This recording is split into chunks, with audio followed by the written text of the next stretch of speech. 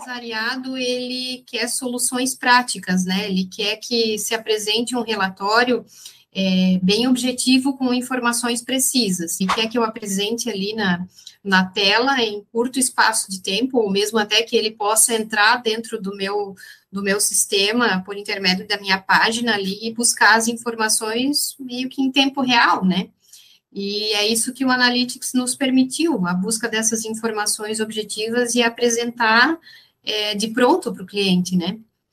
E é isso que, que o Analytics acabou proporcionando, essa possibilidade de eu estar um passo à frente na, na apresentação do relatório com informações gerenciais ali mais objetivas a curto prazo.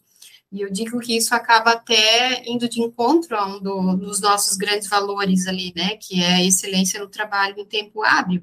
Então, fechou muito essa, é, essa relação amorosa ali, eu diria, né, porque veio a ideia do, do sistema atrelado ao nosso valor, né.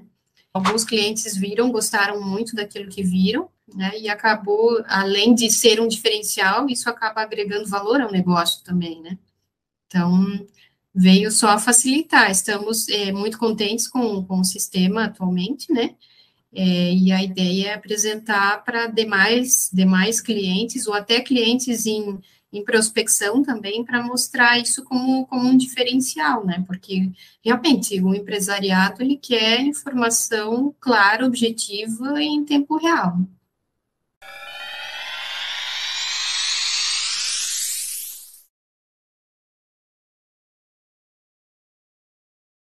Música